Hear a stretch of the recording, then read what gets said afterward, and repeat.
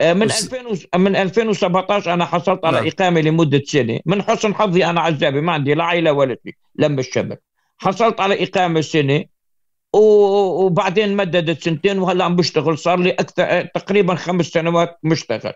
ولكن في شرط هذا B eins قالوا لي ما تقدر تعمل إقامة الأوروبية إلا ما تأخذ ال B eins وأنا هلأ عمري 57 سنة عم بلاقي صعوبة رسبت قدمت على B eins عملت كورس ما نجحت.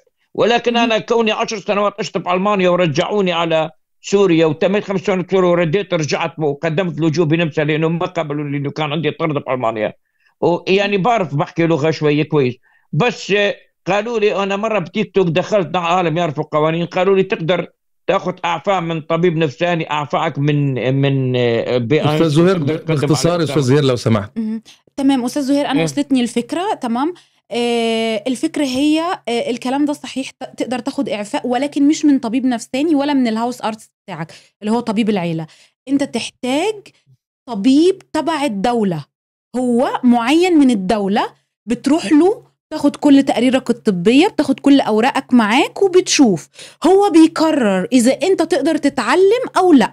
إذا هو شاف حالتك الصحية ولقى إن أنت ما تقدرش تتعلم لغة أو ده صعب عليك بيديلك شهادة من عنده والشهادة دي بتحل محل اللغة. ساعتها مش محتاج ابدا تعمل أي كورسات لغة أو يكون معاك أي شهادات لغة في النمسا. أستاذ زهير بشكرك شكرا جزيلا. أرجو تكون وضحت الصورة بالنسبة. اخر تفضل. آخر كلمة آخر كلمة. طيب. آه إنه هاي إذا أخذت أعفاء من كورس أقدر مباشرة أقدم على الجنسية لأنه موجودة انه إذا معك بيت فاي حتى إذا ما كملت 10 سنوات تقدر تقدم على الجنسية. وأنا أنا صار لي 8 سنوات هون وضحت الصورة يعني الأستاذة نيفين هترد عليك أستاذ زهير. تمام. تفضل.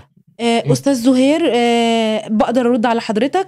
أيوه إذا أخذت آه، الشهادة دي شهادة الإعفاء من الكورس من الطبيب اللي هو تبع الدولة زي ما قلنا مفيش أي مشكلة تقدر تقدم على الجنسية لو بينطبق عليك باقي الشروط والشهادة بتاعة الطبيب دي بتحل محل ال B zwei أو ال B eins للجنسية.